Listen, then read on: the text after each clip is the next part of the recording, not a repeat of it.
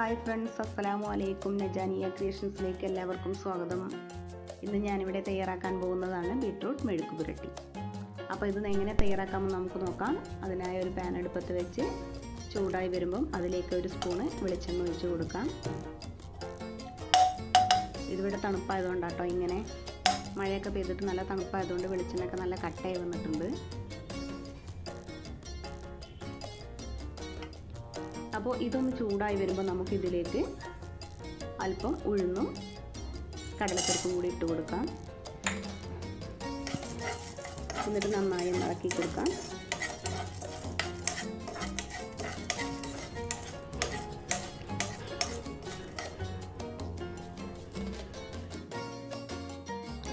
ഇപ്പോൾ ഇത് ഏകദേശം ഒന്ന് കളറൊക്കെ മാറി വന്നിട്ടുണ്ട്. ഇനി നമുക്ക് അല്പം കടുകിട്ട് കൊടുക്കാം.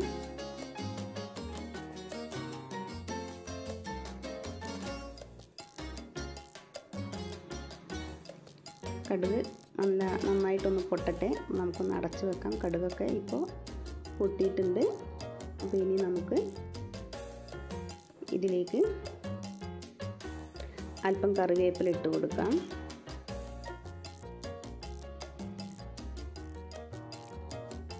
ഇനി ഇത് നന്നായിട്ടൊന്ന് ഇളക്കി കൊടുക്കാം.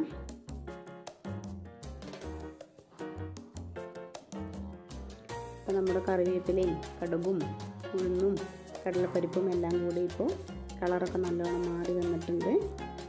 ഇനി നമുക്ക് ഇതിലേക്ക് നമ്മുടെ എടുത്തു വെച്ച ബീട്രൂട്ട് ഇട്ട് കൊടുക്കാം. ഇനി നമുക്ക് ഇതെല്ലാം കൂടെ ഒന്ന് മിക്സാക്കി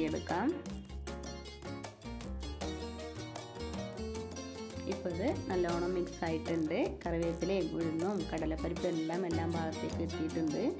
ഇനി നമുക്ക് ഇതൊന്ന് ഒരു രണ്ട് മിനിറ്റ് അടച്ച് വെച്ച് വേവിക്കാം.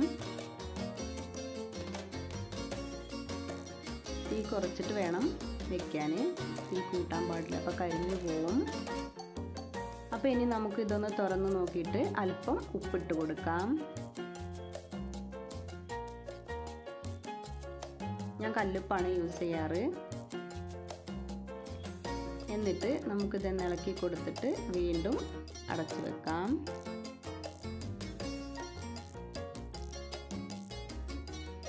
ഇനി നമുക്കിതൊന്ന് തുറന്നു നോക്കാം.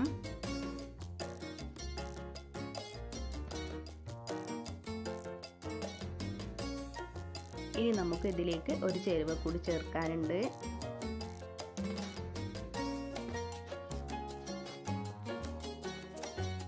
അല്പം തേങ്ങ ചെരുവിയതാണ്. ഇത് ഇതിലേക്ക് ഇട്ട് കൊടുത്ത് നല്ലോണം എല്ലാ ഭാഗത്തേക്കും മിക്സ് ആക്കി എടുക്കാം. ഇത് ഓപ്ഷണലാണ് വേണമെങ്കിൽ ചെയ്താൽ മതി. പക്ഷെ ഇങ്ങനെ ചെയ്താൽ നല്ല ടേസ്റ്റാണ് അങ്ങനെ നമ്മുടെ മെഴുക്ക് പുരട്ടി ഇവിടെ റെഡി ആയിട്ട് വരുന്നുണ്ട്.